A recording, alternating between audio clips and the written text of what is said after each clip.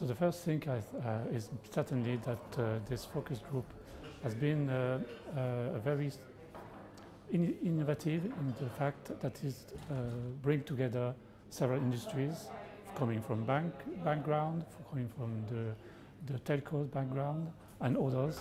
So it's important to, to see that the, these people are able to talk together and uh, achieve very good results.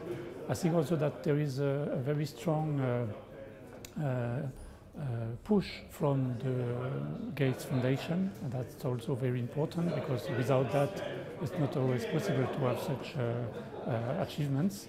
And although there is a very strong organization, I've noticed that there are very valuable deliverables, and that's also very, very, very good.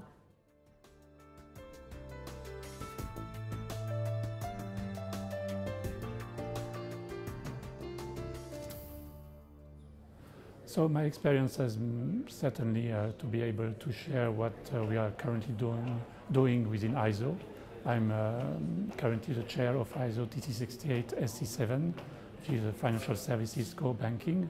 And we are also working uh, on mobile financial services uh, standard, which will be published very soon.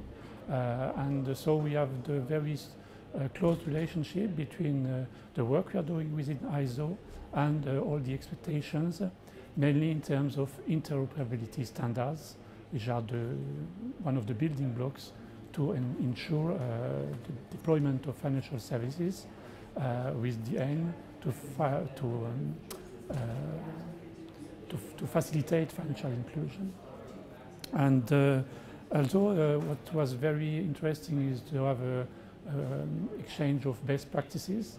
And I've seen that there is uh, already uh, some very concrete results in the fact that uh, some countries were talking together, and within countries, different authorities were able to, uh, to connect and to work together. And I think that's really a very good achievement of this group.